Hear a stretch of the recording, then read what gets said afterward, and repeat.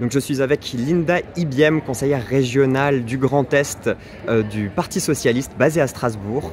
Donc on a les premières estimations à l'échelle nationale pour ces élections européennes avec euh, le Parti socialiste et Place publique qui arrive en troisième position.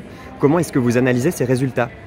Eh bien d'abord je crois qu'il faut euh, parler du taux d'abstention avec un niveau médian aujourd'hui après dix années une abstention euh, record et, nous arrivons à peine avec un électeur sur deux qui se déplace pour aller voter aux européennes. je crois qu'on ne peut pas se, réjouir euh, de ce score-là et de ce taux de participation.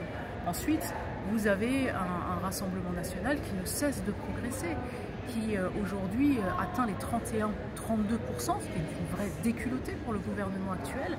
Et puis, on peut aussi constater une volatilité euh, des scores euh, d'une part de l'ensemble de l'échiquier politique versus un ancrage, celui du Rassemblement national, qui capte à chaque élection un petit peu plus euh, de personnes, les classes plus populaires, mais aujourd'hui les retraités, les jeunes, et je crois qu'il faut, il faut s'en inquiéter.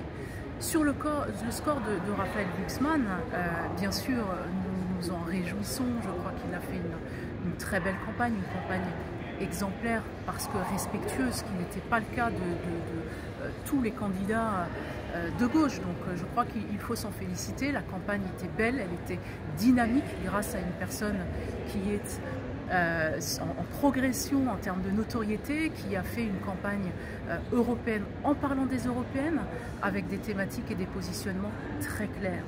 Donc euh, voilà, je crois qu'on peut se réjouir euh, du fait que nous revenions à notre score de 2014.